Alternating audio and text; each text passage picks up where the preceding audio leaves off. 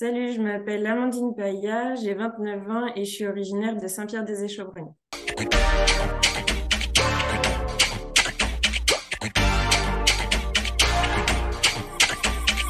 Tu voulais faire quoi quand tu étais petite?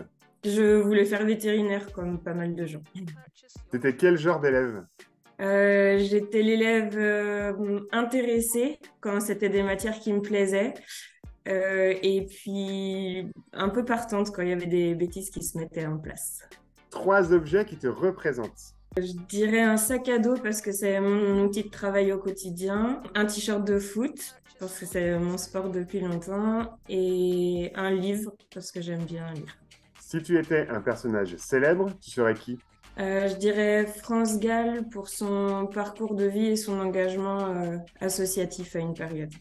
Le truc qui t'agace le plus, c'est quoi? Alors, en ce moment, le truc qui m'agace le plus, c'est les gens qui se mettent devant un passage piéton, tu t'arrêtes et finalement, ils ne veulent pas traverser. Si tu étais présidente de la République, quelle serait ta première mesure? En lien avec mon métier, euh, je mettrais des mesures en place euh, autour de la protection de l'enfance euh, pour pouvoir faire de ces enfants-là de meilleurs adultes ensuite. De quoi tu veux nous parler Je vais vous parler de mon projet de raid sportif et solidaire en Laponie au profit d'une association qui œuvre pour les cancers pédiatriques auquel je me suis engagée euh, avec euh, ma binôme Sandra euh, pour participer à ce raid.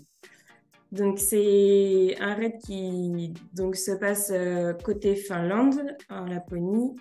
Euh, on sera cinq jours sur place et donc il y aura trois jours d'épreuves qui se dérouleront le matin puisque euh, le soleil est présent que 6 heures dans la journée. Qu'on a trois types d'épreuves. La première journée, ça sera un trail d'environ 15 km. La deuxième journée, c'est un run and bike. Et le troisième jour, c'est un relais de ski de fond avec euh, course d'obstacles. Et donc, on fait euh, ce raid-là pour représenter en fait l'association Des Ballons pour Grandir. C'est une association euh, locale autour d'Angers qui est située à Saint-Aubin-le-Luigné. C'est une petite asso qui est née en mars 2021 et euh, qui œuvrent pour le cancer pédiatrique. Donc, euh, ils font pas mal de sensibilisation autour de ce sujet-là. Ils récoltent des fonds pour la recherche. Ils améliorent aussi le quotidien des enfants malades et de leurs familles. Comment est née cette idée? Cette idée, elle est née euh, l'année dernière. En fait, j'avais repris mes études. C'était une année assez intensive et j'avais peur de me retrouver dans la routine du quotidien.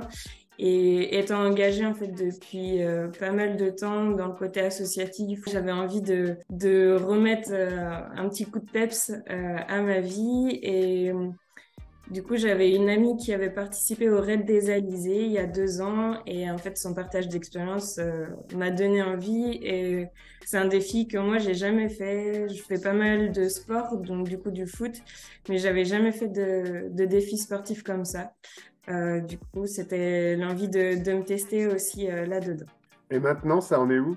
Eh ben, normalement, on devait prendre le départ euh, le 19 janvier, mais pour des raisons un peu logistiques, l'organisateur a dû décaler le raid euh, au 10 mars prochain. Donc, euh, ça laisse un peu plus de temps pour la préparation sportive. Donc, on est, encore à fond là-dedans. C'est des entraînements quasi quotidiens. Euh, au niveau de l'organisation aussi, on est à, fond dedans.